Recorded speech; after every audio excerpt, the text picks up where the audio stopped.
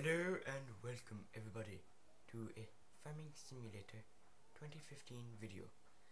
In today's video I am going to be showing you how to earn money extremely quickly but very simply.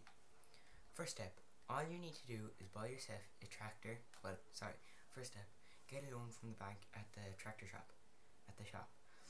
Buy yourself the cheapest tractor, like what I have done, buy yourself a loader with a log fork on it and whatever chainsaw.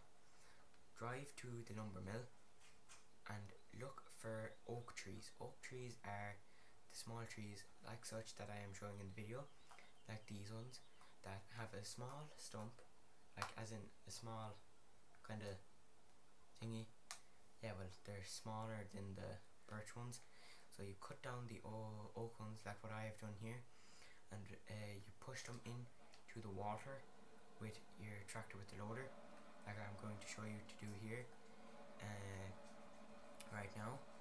And for that I got $53,000 now if you keep doing that with the oak trees god you will be minted.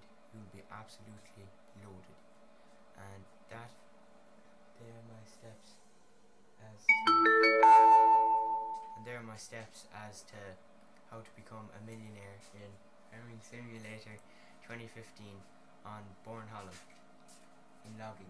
Right, thank you very much.